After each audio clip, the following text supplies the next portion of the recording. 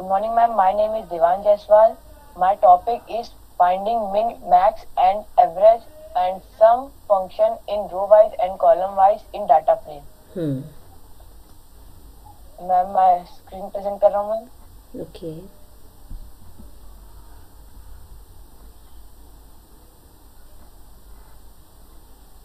Ma'am मैंने पहले एक प्रोग्राम बनाया था। मैम मैंने उसको सेव कर लिया है।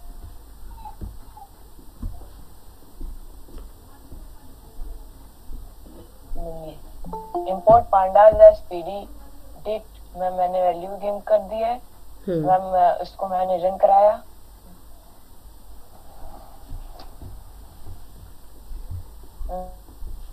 ओके गुड मैं पूरा रन कर रहा हूँ हम्म ma'am ma'am first of all we will study about finding min and max function what is min and max function max function the min and max function find out the minimum and maximum value respectively from a given set of data. Ma'am इसलिए ma'am आता है कि ma'am कि हम लोग को जो data frame है, जो हमारी सेट ऑफ़ वैल्यू है मैम उसमें मिन और मैक्स वैल्यू निकालनी रहती है। और मैम इसमें दो तरह से हो सकती है row wise and column wise ma'am इसका सिंटेक्स होता है डाटा फ्रेम का नेम डॉट मिन और ब्रैकेट में उसकी वैल्यू मतलब क्या आंसर चाहिए रो वाइज और कॉलम वाइज रो वाइज और कॉलम वाइज निकालने के लिए एक एक्सिस यूज़ होता है जिसमें बाय डिफ़ॉल्ट ज़ीरो आता है और एक्सिस वन से कॉलम आता है। एक्सिस ज़ीरो से इंडेक्स आता है अगर उसमें एक्सिस की वैल्यू ना दे तो भी इंडेक्स शो करेगा।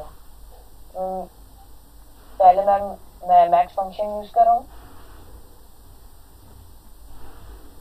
प्रिंट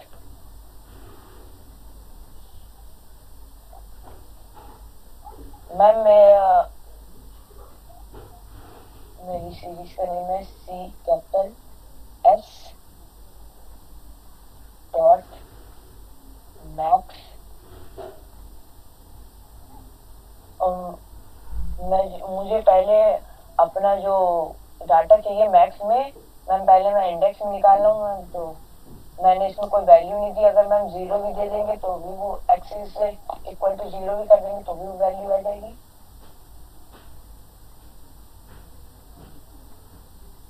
ये रहा। मैम एम वन में सबसे ज़्यादा मैम वन ट्वेंटी थ्री है एम टू में मैच टू में टू ट्वेंटी टू है। मैम सबकी हाईएस्ट वैल्यू मैक्सिमम वैल्यू आ गई मैम। ओके देवांश अगर हमें सिर्फ़ एम वन का मैक्स चाहिए हो तो क्या करेंगे? मैम एम वन का max ma'am ma'am maybe शायद से ब्रैकेट में एम वन लिख देंगे। हम्म।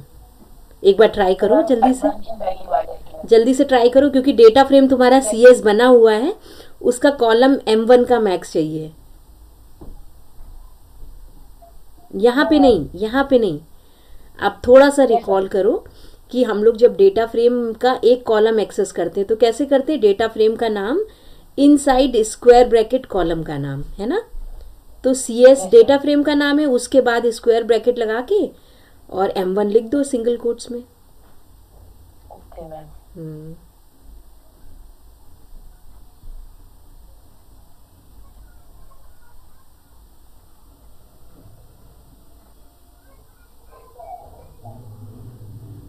स्क्वायर एक सिंगल कोट रह गया एम वन का क्लोजिंग वाला।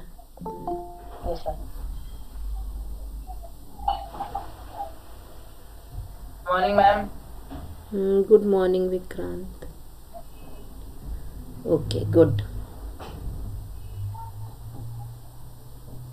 very good हाँ सिर्फ़ एम वन का दिखाया। तो अगर किसी एक पर्टिकुलर कॉलम का भी चाहिए तो उस केस में भी हम लोग इसको देख सकते हैं इसे।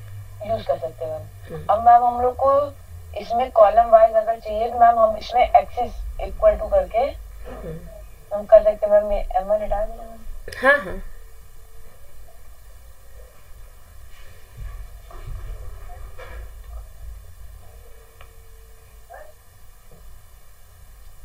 Axis equal one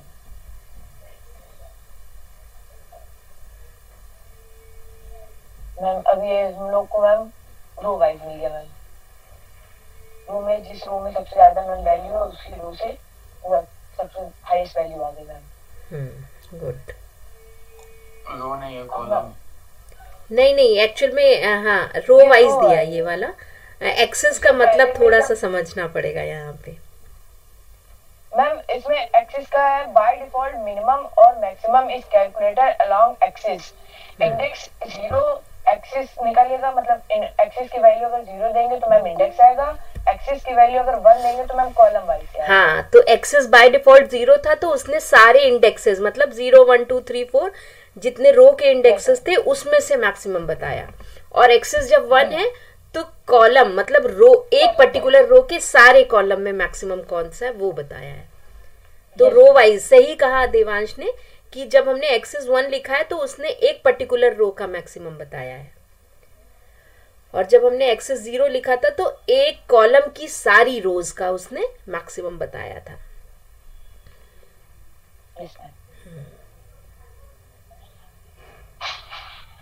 main function use कर रहे हैं। मेन के लिए भी मैम सेम सिंटेक्स है इसमें हम एक्सिस ज़ीरो डाल रहे हैं मैम इसमें सबसे लोअर वैल्यू आ जाएगी मैम हम्म, ठीक है। और मैम इसमें एक्सिस वन कर दे रहे तो मैम कॉलम वाइज इंडेक्स पे डाल जाएगी अब थोड़ी सी एक और एक्सरसाइज तुम्हारी देवांश। ये तो हम लोग अभी देख रहे थे तो अभी हमने जैसे तुमसे कहा कि एम वन कॉलम में हमें मैक्सिमम चाहिए था। अब हम ये कह रहे हैं कि हमें जो मैक्सिमम चाहिए वो हमें रो टू में चाहिए। रो टू में मैम रो टू का मैक्सिमम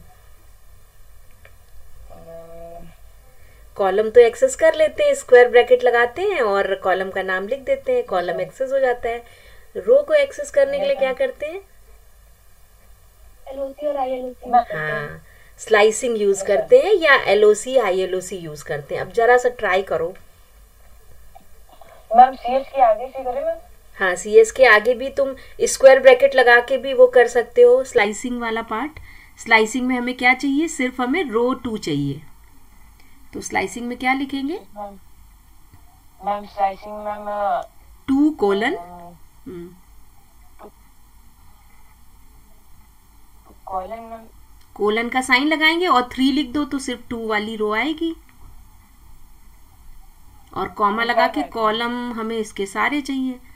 तो वो कुछ नहीं करना। हाँ चलो अब देखो।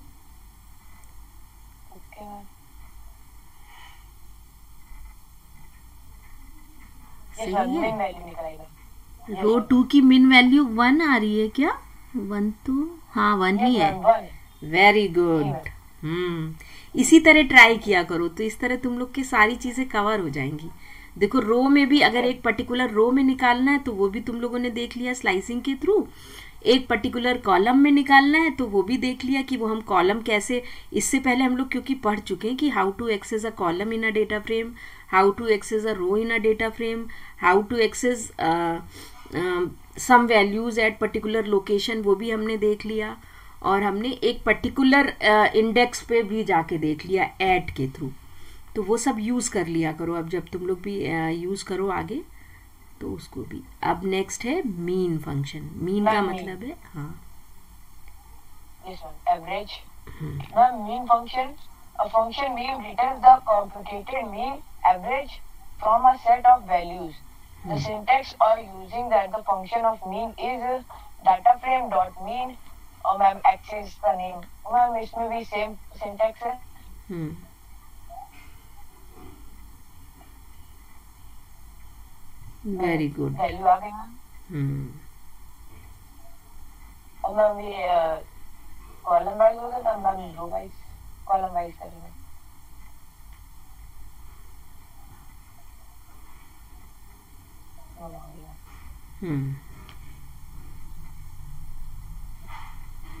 Then ma'am my next topic is sum. Hmm ma'am sum का भी वही मैम सिंटेक्स है? हम्म सेम सिंटेक्स है मैम इसका भी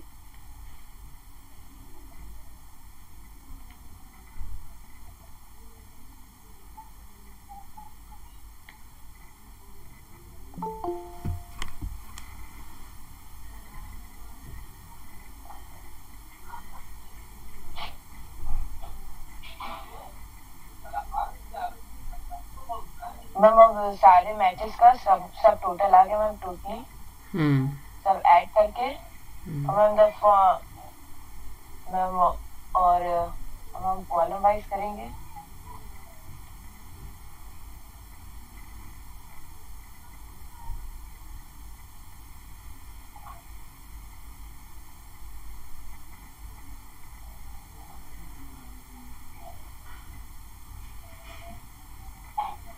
सारे सब कॉलम्स में मैम सब टोटल आ गए ma'am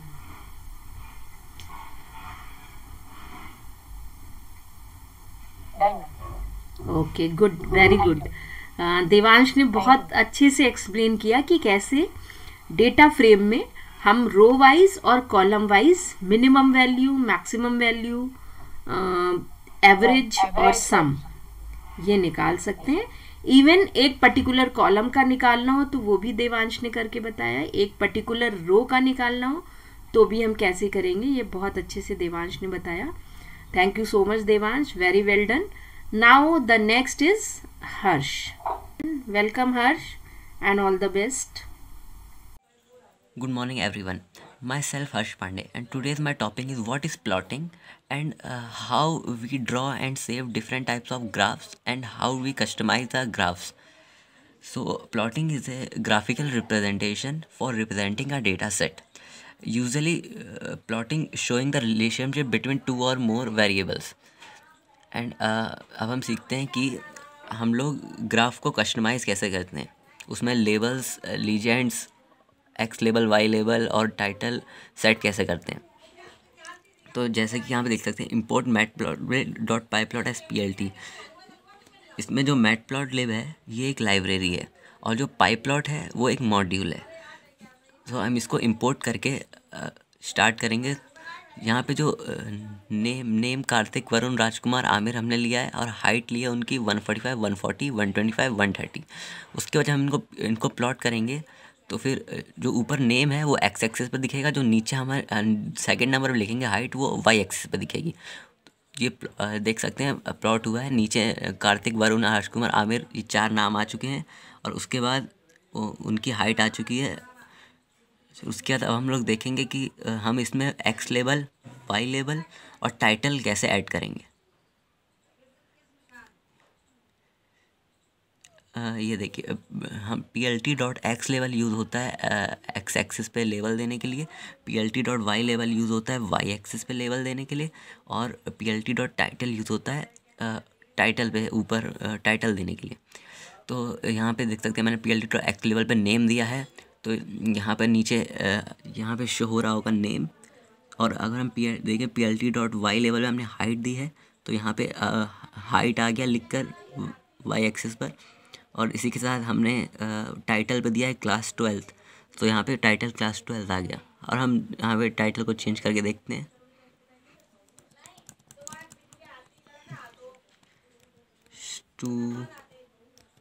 स्टूडेंट फॉर एग्ज़ाम्पल हमने यहाँ पे अब स्टूडेंट लिख दिया है, इसको प्रिंट करके देखेंगे। तो ये देखिए, क्लास ट्वेल्थ की जगह यहाँ पर स्टूडेंट टाइटल लिख के आ गया तो X level Y level title हम लोग ऐसे यहाँ पे शो कर सकते हैं। उसके बाद अब हम देखेंगे कि हम लोग ग्राफ पर लीजेंड कैसे सेट करते हैं। तो सबसे पहले कि लीजेंड के लिए हमको हाइट के साथ एक और कोई चाहिए वेरिएबल जैसे कि हमने इसमें वेट और ले लिया है जिसका हम कंपैरिजन करेंगे हाइट और वेट का।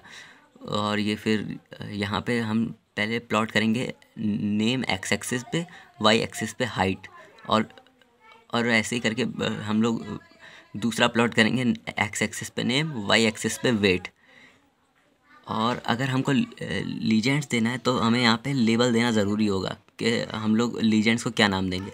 तो हम पहले वाले लीजेंड का लेबल देते हैं हाइट दूसरे वाले लीजेंड का लेबल देते हैं वेट उसके बाद अगर हम लोग इसको प्रिंट करेंगे P L T dot legend करके तो ये आ जाएगा। जो यहाँ पे ब्लू लाइन है, वो हमारी हाइट को रिप्रेजेंट कर रही है। और जो हमारी येलो लाइन है, वो वेट को रिप्रेजेंट कर रही है। जैसे कि कार्तिक की हाइट थी 145 तो कार्तिक में देखिए 145 पे उसकी ब्लू लाइन है और उसका वेट था 45 तो फिर उसका वेट 45 पे येलो लाइन उसकी 45 पर है। ऐसी, हम लोग यहाँ पे लीजेंड की जगह भी चेंज कर सकते हैं। उसके लिए हम एलओसी का यूज़ करते हैं। L O C to upper left for example हमने अपर लेफ़्ट साइड पे लीजेंड को दिखाना है तो फिर ये देखिए, यहाँ पे ये लीजेंड अपर लेफ़्ट साइड पे आ गया। और अगर हम लोग इसको कर देंगे अपर राइट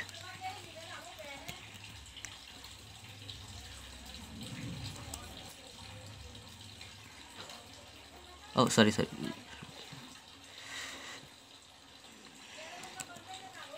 अब ये देखिए लीजेंड हमारा अपर राइट साइड पे आ चुका है। और अगर हम कोई वैल्यू नहीं देते हैं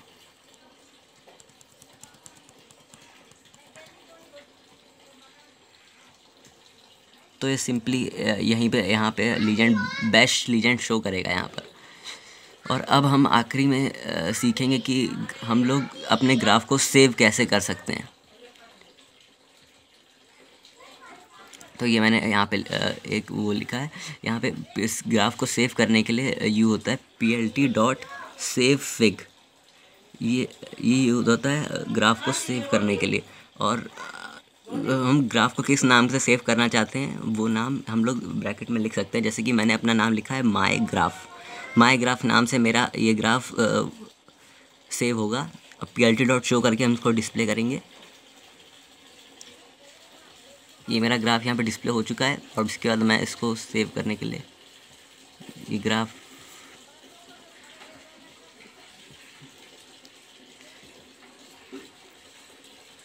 ये देखिए, कुछ सेकंड्स पहले मैंने इसको सेव किया था। कुछ सेकंड्स पहले मैंने इसको सेव किया है अभी। माई ग्राफ नाम से। ये देखिए। ये रहा वो ग्राफ जो अभी हमने सेव किया है। Save fig P L T dot save करके आप अपना ग्राफ सेव कर सकते हैं, उसमें नाम भी डाल सकते हैं। तो ये था मेरा टॉपिक थैंक यू